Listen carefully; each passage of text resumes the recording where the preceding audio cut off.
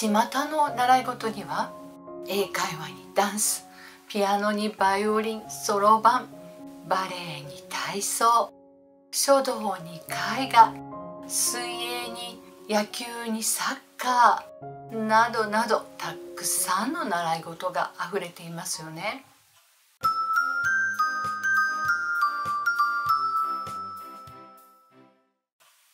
こんにちは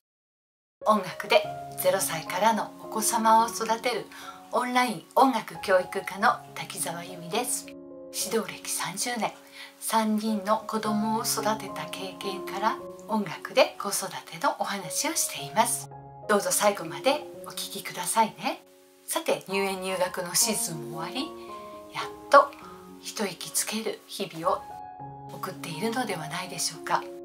そしてそろそろお子様に何か習い事をさせたいなとお考えのパパママ。今日はそんなパパママのためにどんなお稽古を選んだらいいのかな。お子様が楽しいと感じてお子様の役に立つお稽古事習い事の選び方のコツをご紹介したいと思います。巷の習い事には英会話にダンスピアノにバイオリンそろばんバレエ体操書道に絵画水泳に野球にサッカーなどなどたくさんの習い事があふれていますよね。体験教室に行ってもお子様は目新しいものに目を輝かしてどれもやってみたそうにしています。そしてそんな楽しむ姿を見ているパパママはどれもやらせてみたいなって思ってしまいますよね。昔10年くらい前に通っていた生徒なんですがその子は本当に習い事をたくさんしていました。月曜日から金曜日までは1つずつの習い事。そして土曜日にはなんと3つの習い事。1週間で10個の習い事をしてて私はよく芸能人並みに忙しいねと言っていました。私のところには土曜日の2つ目の習い事で来ていました。まず来て何をやるかというととにかく休ませてってその子が言います。音楽ってリフレッシュもできますけれどもストレスも発散できてそしてリラックスもできるそんな教室だったのでお子さんはここにいる時が唯一お休みできる場所だったんでしょうね。しばらく本当に5分から7分くらい寝たかと思うと今度は突然1週間あった出来事をお話しし始めます。あそこが嫌だったとか勉強勉強ってママがうるさかったとかさてさてピアノを弾きましょうという時にはもう5分ぐらいしかなかったんですがそれでもその時間集中して弾いてましたよ。こんなわけなのでピアノはやめさせられてしまったのですが、まあ、この子はねどうなってしまうのかなと心配はしていました。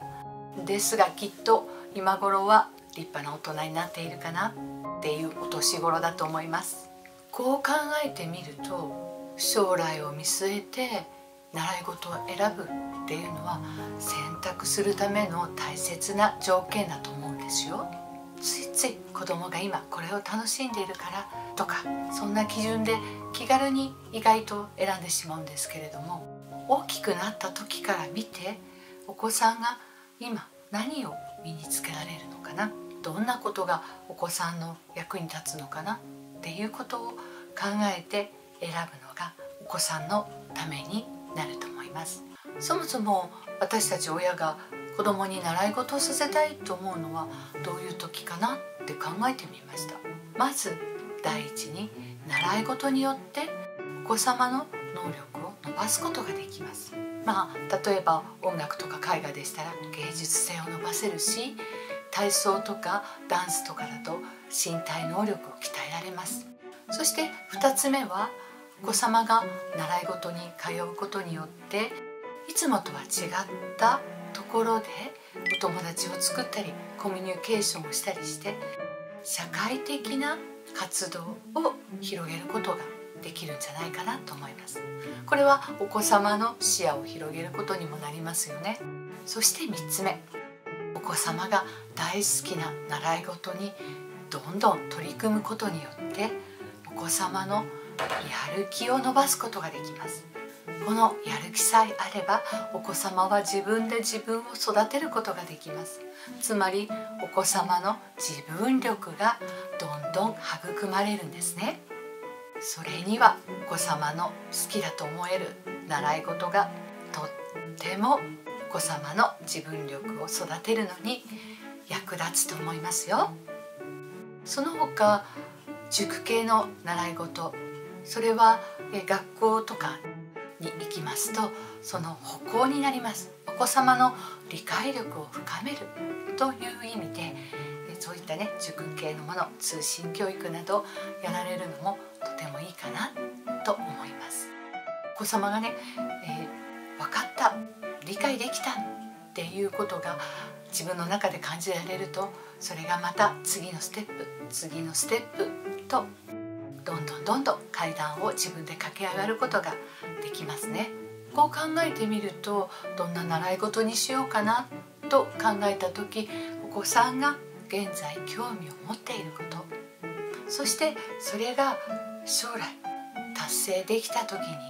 またはどんどんどんどんその習い事を進めていった時にお子様にとって何が身につくのかなということを考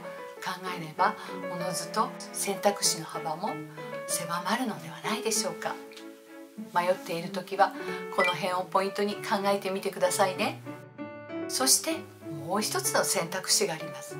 それは習い事をしないということです。習い事をしないということでお子さんは時間的にとても余裕ができます。もちろんママだって習い事に通う時間そのための時間付き合わなくちゃいけませんよね。でもその時間を親子で密に過ごすことによってコミュニケーション力親子の信頼度そして親子のつながりがアップしますね。そんな選択もとってもいいと思いますよ。子供時代は本当にゆっくりできると思うんです。私たち大人になってみるとまあ自分の生活本当に身の回りのことは自分でやらなければいけないし、えー、ご飯を食べるっていうことも自分で獲得しなければいけません。でも子供はそんなことを考えなくてもいいので子供のこのゆとりの時間本当に子供時代にしか味わうことができないんじゃないでしょうか。だとしたらそれもとっても素敵な選択だと思います。以上のお話を踏まえてお子様の可能性を伸ばせるようなそしてお子様の生活が充実できるような習い事に巡り合うといいなと思っています。最後に一言オンライン教育科の私が思うのは